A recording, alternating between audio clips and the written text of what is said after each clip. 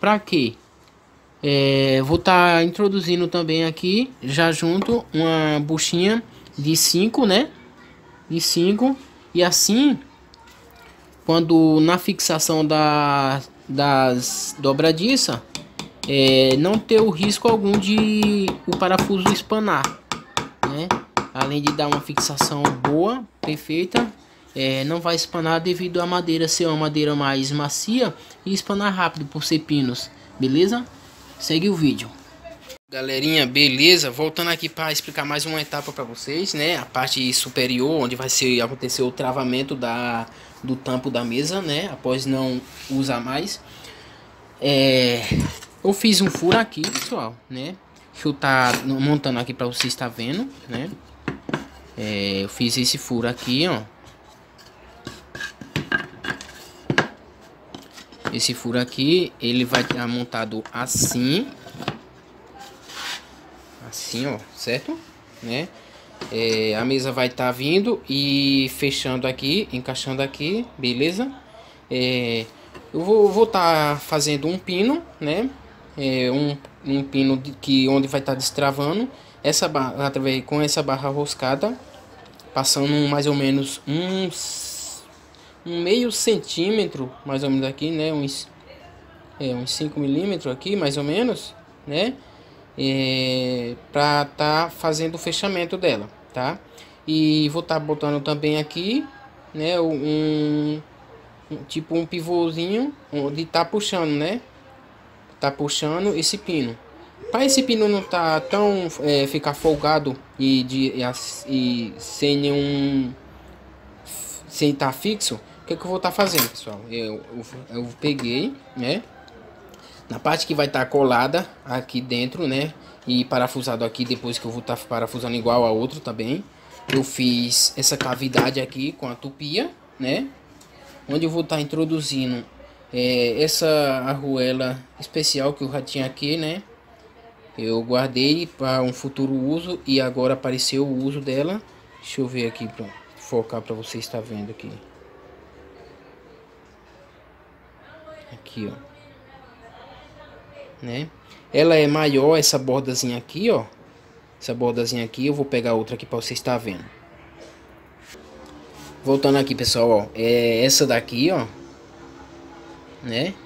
É o que eu fiz, diminuir, cortei um pouco aqui, né? De, cortei um pouco dela aqui, porque na verdade eu só precisava um pouquinho que era para estar tá pegando na ponta da mola, né? Tá? Essa mola também eu tinha guardada e imaginei que ia ser útil e veio logo em mente na hora que eu tava fazendo isso aqui, tá usando ela para estar tá fazendo esse mecanismo aqui. Aí eu vou estar tá cortando o tamanho correspondente aqui, ó, né?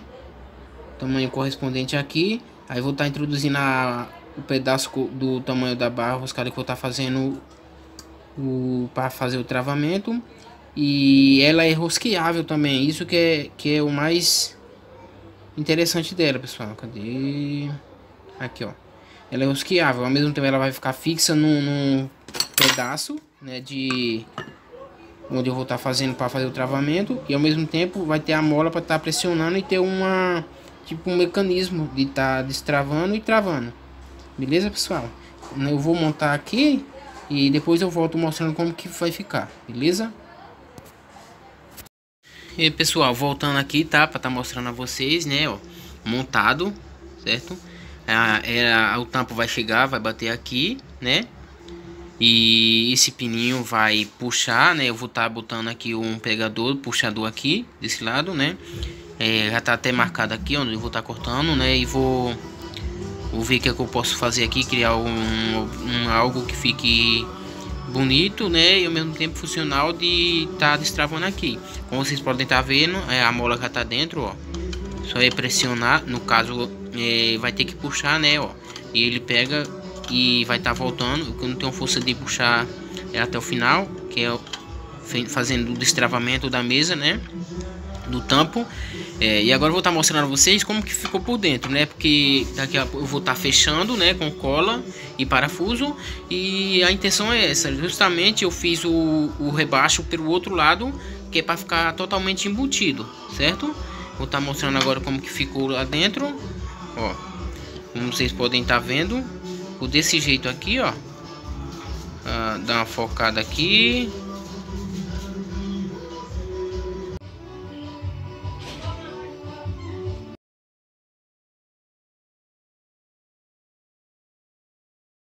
Pessoal, e aí pessoal, beleza? Bom dia. É, começando aqui, né? É, dando, na verdade, dando continuidade aqui no nosso projetinho da mesa. Vou estar tá passando mais uma etapa para vocês, né? Etapas finais.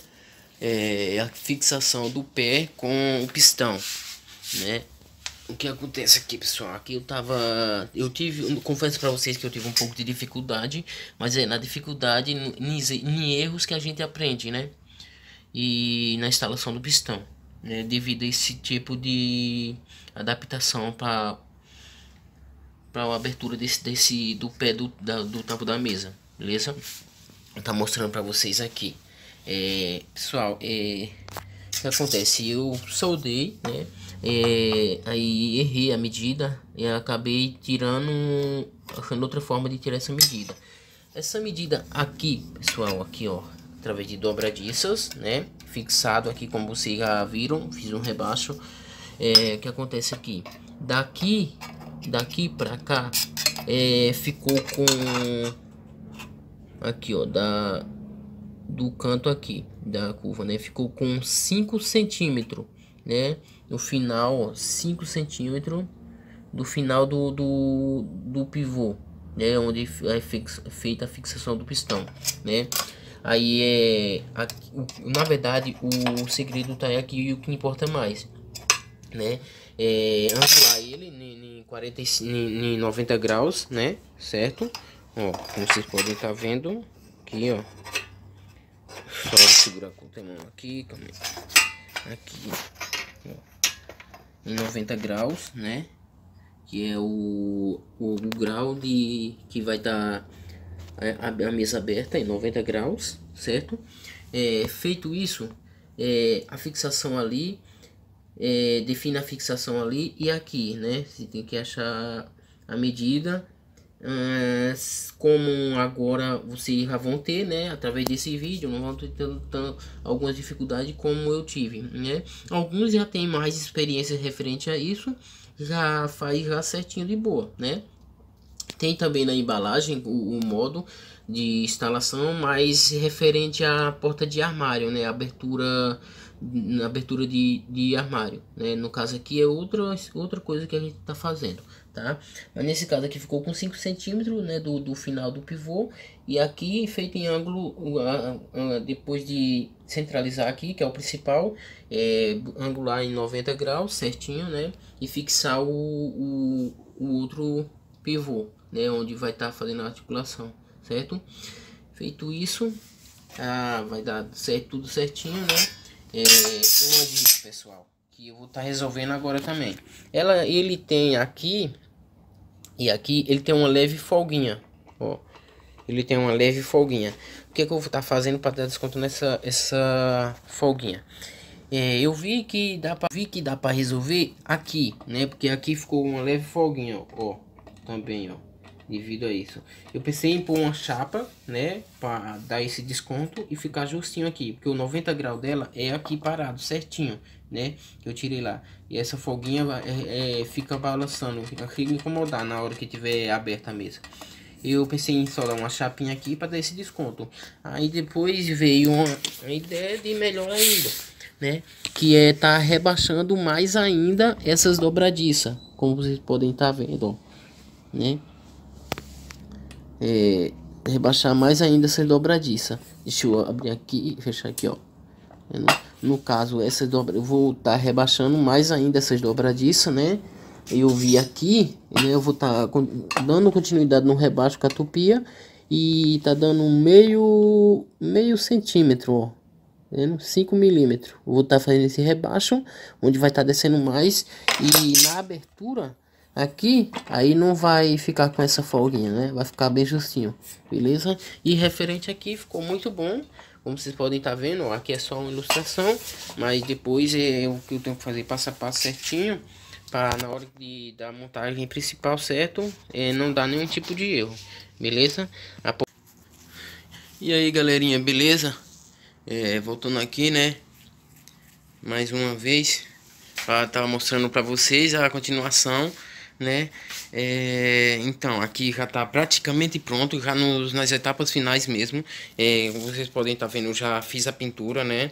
Ela ficou assim meio porosa devido à textura do rolinho né que eu usei que ele é um rolinho especial que é de espuma revestido com um tipo de renda. E ficou nesse jeito aqui ó. Beleza? Deixa eu estar tá virando aqui para vocês estar tá vendo? Oh, dança do rato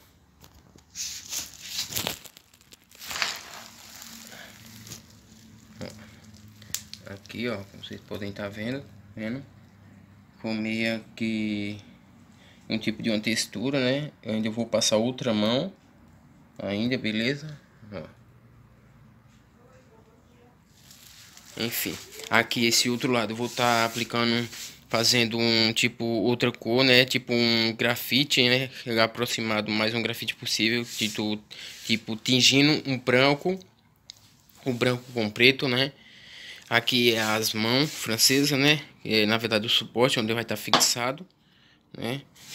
já está com as dobradiças para instalação, certo? É, vou pintar na mesma cor do, do, da parte de baixo, que vai ficar tipo um quadro na parede, né? Da impressão. Aqui, o, a base, né? O pezinho já tá pronto, né? Pintado, certo? Tá esperando a dobradiça fixar que eu removi, né? Ó. Aqui é o pino do pistão, onde vai estar tá fixado, né? Certo? Vocês podem estar tá vendo. E aqui tá aquela parte que eu falei, o pé embutido, né? Aqui eu vou estar tá, é, botando os pezinhos agora, tá? Vou botar, já volto para você mostrar para vocês. Aqui os pezinhos. É, pessoal, é, esse furinho aqui é referente é uma chave, né? Que ao desapertar aqui, aqui tá as travas, né? De desaperto para tá removendo o pé, né? Saindo de dentro. Deixa eu ver se eu consigo soltar com a mão. Essa aqui é a chave que eu desenvolvi, né? Para tá é, fazendo o desaperto dessa, dessa borboleta para tá soltando o pé. E aqui, que às vezes ele dá uma travadinha aqui, é, aí fica para puxar, beleza? Fica assim, aí puxa, certo? É, vamos ver se eu consigo destravar aqui para você estar vendo. Ó, aí ficou assim, esse aqui, né, é o de aperto e esse daqui é o de, de limitador, né, para que ele não caia direto, certo? Não consigo. Aí vai aqui, ó. Aqui eu pintei, provavelmente vai arranhar, né? Quando, tipo, agora a chave mesmo, ó. Vocês podem estar tá vendo, né? Mas eu vou dar, botar um... Um... Emborrachado aqui, né? Um revestimento com espaguete termorretrátil para tá preservando mais, tá? Mas enfim, isso não conta muito porque já, já sabia que já ia fazer, acontecer isso, certo? Deixa eu desapertar aqui para você estar vendo.